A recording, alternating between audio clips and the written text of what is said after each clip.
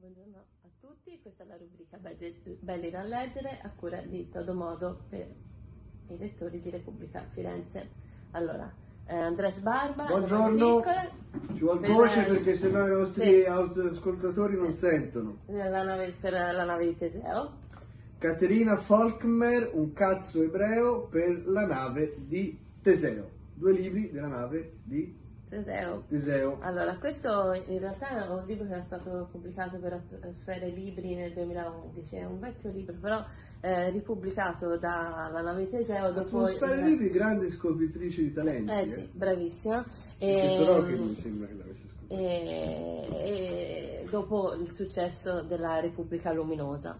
Ecco, questo è il romanzo scritto prima da Andres Barba, che è autore madrilegno, bravissimo, ha vinto mille premi, eh, scrive saggi, poesie. Eh, è, eh, se questa è la Repubblica Luminosa, Le mani piccole è un romanzo oscuro, sicuramente perturbante perché indaga uno dei, dei- dei temi che Andres Barba eh, evidentemente ama di più è l'infanzia, però eh, l'infanzia vista da un eh, punto di vista certamente originale. Evidentemente perché il precedente romanzo era La Repubblica Luminosa, che era questa Sì, però no, cioè, eh, è bambini. stato pubblicato prima, eh, però questo è l'ultimo, è l'ultimo romanzo della Repubblica Luminosa, questo è stato No, scritto no, ti, prima. ti spiegavo come Eh. dicevi, evidentemente di tutti i piace è attratto dall'infanzia. dall'infanzia e non solo, anche questo agosto-settembre di Mondadori che purtroppo è andato fuori catalogo, spero lo ripubblichi, è dedicato a una storia di adolescenti. Quindi eh, fa questa indagine ehm, ponendo però tutta una serie di questioni, mh, cioè sovvertendo l'ideale dell'infanzia come luogo dell'innocenza ma eh, partendo dal presupposto che lì proprio ci sono i semi di tutto quello, eh, di tutto quello che avverrà nell'esistenza, compresa la morte.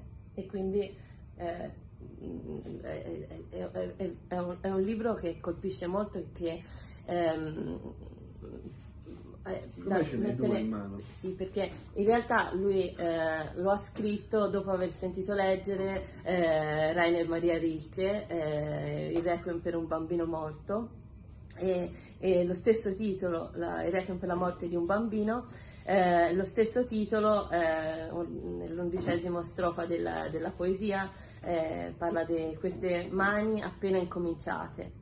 E vi sentivo dire promettete bene e ci sono tutto un sistema di rimandi per cui.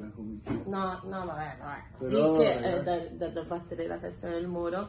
E, e- e- e, appunto io non era noi e qua c'è tutta la vita eh, di, questa, di questa bambina Marina ha subito un dolore incredibile fortissimo e finisce in un orfanotrofio e io non era noi e quindi il rapporto con questa comunità. Poi ehm, parla della- della- della- del seme di, di- di tutti i sentimenti che poi eh, si, si- si ritrovano nell'infanzia e quindi eh, c'è la paura, c'è, c'è la- eh, c'è l'amore e la violenza, moltissima violenza. E quindi è un, è un romanzo bellissimo che inizia con, con, con, con la paura, la morte e però finisce con la gratitudine. Beh. Allora avvenne quella mattina, Mm. quando ancora prima di conoscere questo libro si suonò, squillò il telefono in libreria. La domanda fu la seguente, no è vero, È vero. buongiorno, avrei bisogno di un cazzo ebreo.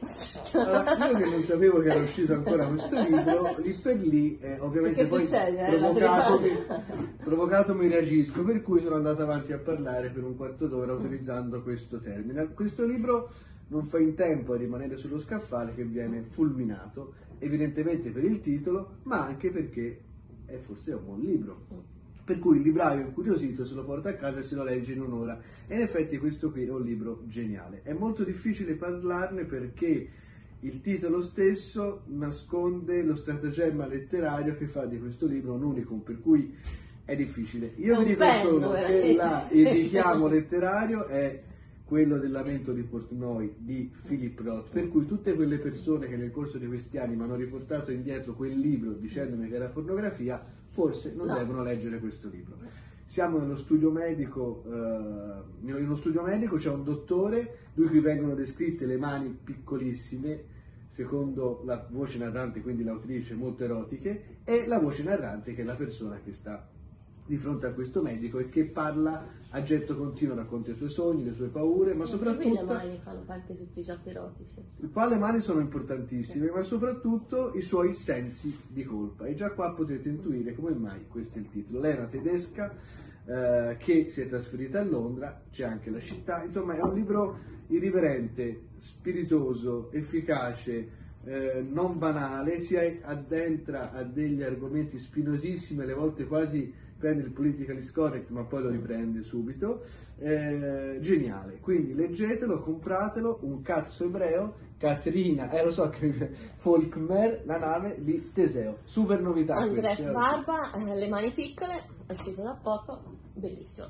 alla prossima rubrica.